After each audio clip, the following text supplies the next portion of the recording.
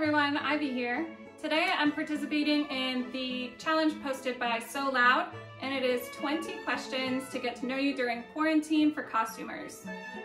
First of all, thank you to SewLoud for hosting. I really appreciate it. This is an awesome challenge, and I'm really excited to participate in it. I feel a little bit weird answering questions that nobody really asked me, so hopefully this isn't super boring for you, but we can talk a little bit about costumes and how I got started and all of that wonderful information that you definitely are so interested in and fascinated to find out more about me.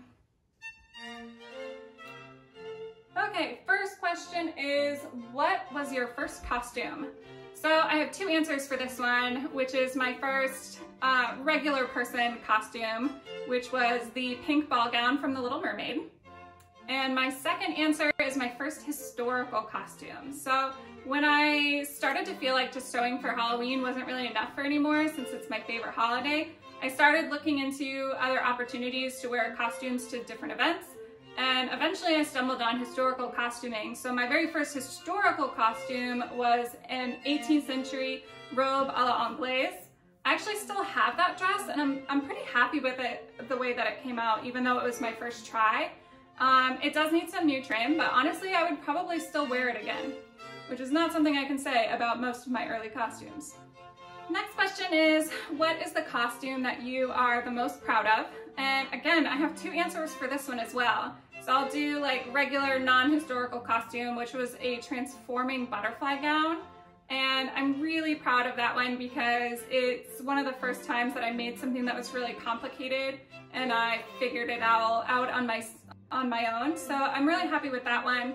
Um, it just was really complicated and I didn't have any guidance on how to do it. So I'm proud that I was able to come up with something that worked. And then my um, historical costume that I'm the most proud of was a, my first robe a la française, which was inspired by the Dior 1949 Fall and Winter collection. And it has like a few thousand rhinestones on it that I all set by hand myself. And the thing that I'm probably most proud of is that honestly, it was a really creative idea. I'm proud of myself for being able to come up with that. And it is really beautiful. It is so sparkly and it is something that I wish I had more opportunity to wear. What costume do I dream of making? Most of the costumes that I tend to dream about are usually extant examples from museums. There's this one in particular that is a navy blue and white striped seaside gown from the mid 1880s. Oh, and it is perfection. I absolutely love this gown, but I have not had any success in finding the exactly the right stripes to make this particular dress. So I decided that if I was gonna actually try and duplicate this garment, that I didn't wanna settle for the wrong stripe and that I would much rather um, either make it myself or wait until the perfect fabric comes along. So um, I would love to make that one someday since the pattern is not necessarily that complicated, but it's been difficult to source materials for. Sewing task I love versus sewing task I hate. I absolutely love the process of pinning and then actually sitting down to sew at the machine. It really makes you feel like the project is coming together and that things are happening and you are actually making a garment. And something that I absolutely hate is ironing for obvious reasons. Would you rather sew wool or silk? I would definitely prefer to work with silk just because I prefer to make um, ball gowns and fancy stuff more than I like to make daily wear. Okay, themed event or pick your own. I have to say themed event all the way. I really struggle to come up with good ideas for garments on my own and having nothing to sew for during quarantine has been really tough on me.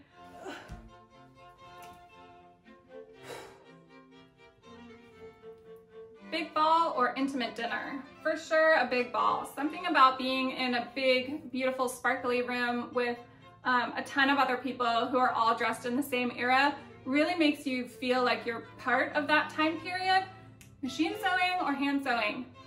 Machine all the way. Wigs, hair pieces, or natural hair.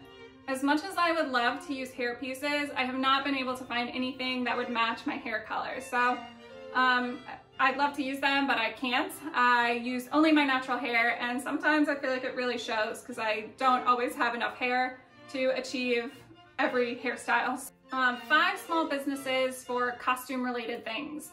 Most of mine are gonna be pattern makers because I make pretty much all of my own stuff myself. I love black snail patterns on Etsy. I feel like they don't get enough love. Their instructions are incredibly clear, they're super affordable, and the PDFs are put together better than any other pattern PDF I've ever worked with. So I'd recommend Black Snail Patterns. I would also recommend Atelier Sylphe corsets, also on Etsy. They have dozens of extant corset patterns to choose from, so there's a lot of variety. Um, I would also recommend American Duchess, of course. Five YouTubers that you should check out are, of course, SewLoud. Uh, I also love Brandon McKinney. It's a newer channel that focuses on antique parasols, and I'm hoping he keeps uploading videos because they're amazing.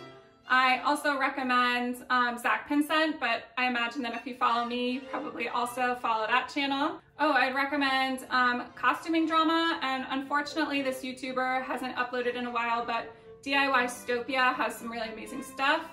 And also Sosteen, who focuses on um, digital embroidery. Favorite color, definitely yellow. It's kind of a weird one. Pearls or sparkles? Sparkles, definitely sparkles. A costume trip that I've dreamed of taking is one that doesn't really exist.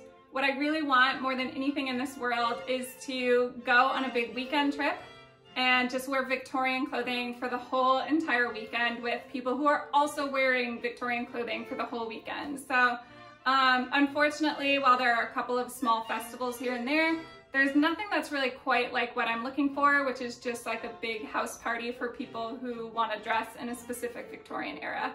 Um, who knows, maybe I'll plan it myself sometime, but I'm not sure if anyone would come. There's probably a reason that this doesn't already exist. Beer.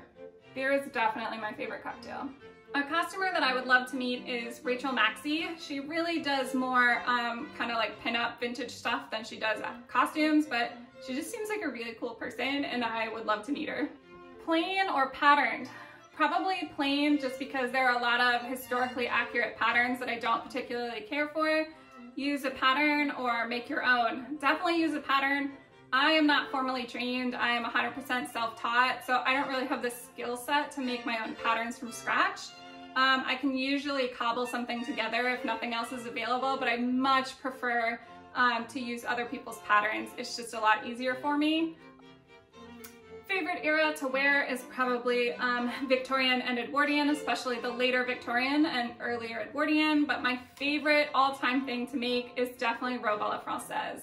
They are so beautiful, and once you know how to make them, they actually go together pretty quickly, and they always are just so impressive at the end, and they really are just the fanciest of historical costumes. So there's something that's really satisfying about making a robe à la française. One thing that you don't know about me is that I am super lazy about making um, under the appropriate undergarments. So normally I do not wear a chemise. I'm much more likely to just be wearing like a random fast fashion tank top and some leggings rather than like what you're actually supposed to wear under this stuff.